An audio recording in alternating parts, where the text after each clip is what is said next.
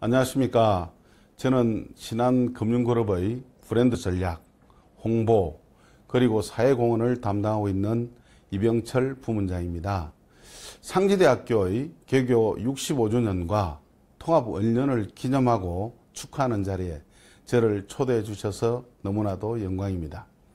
다시 한번 진심으로 개교 65주년과 통합 원년을 축하드립니다.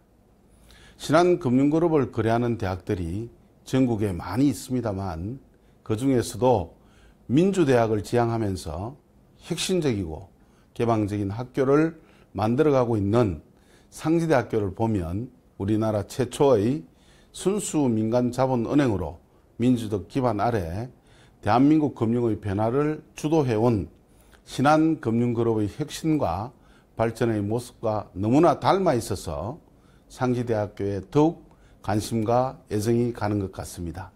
특히 정대화 총장님 취임 이후에는 발전을 위한 노력이 더욱 강해지고 또 그 결실이 만들어지고 있는 모습이 보여져서 개인적으로는 기쁘고 또 뿌듯합니다.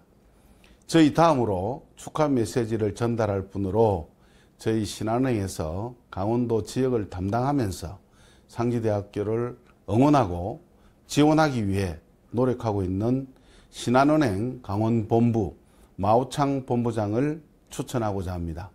아마도 가장 멋진 축하 메시지를 전달해 주시지 않을까 기대해 봅니다.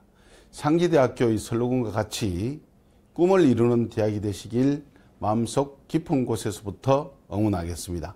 상지대학교 신한금융그룹 파이팅! 감사합니다.